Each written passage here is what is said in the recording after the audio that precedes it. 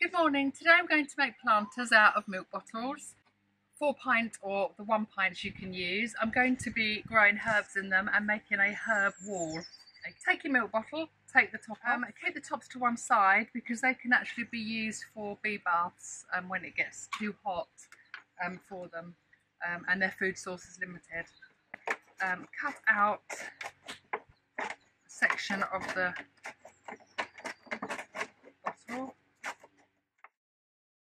and go round the lid area, making sure you leave the handle on.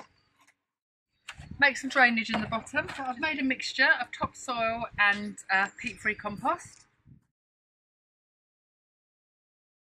Remembering to not quite fill the pot. Now normally I would use my little presser boards, um, but obviously that's too small. So you can use the bottom of a pot just to give a level surface creating a seed bed. I'm going to be growing some parsley in this one. Just sprinkle gradually over. Sieve in some soil. One. So this one I will grow some coriander. I use a garden sieve um, but obviously if you haven't got a sieve you can use a pot with big holes in the bottom. Okay, so now I'm going to label them up.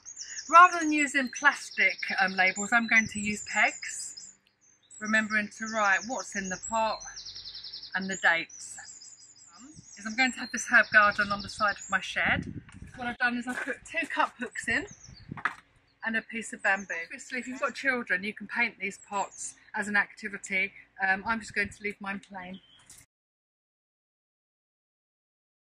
You might have to put a middle support in, um, but even so, once they start growing, um, they'll look really good.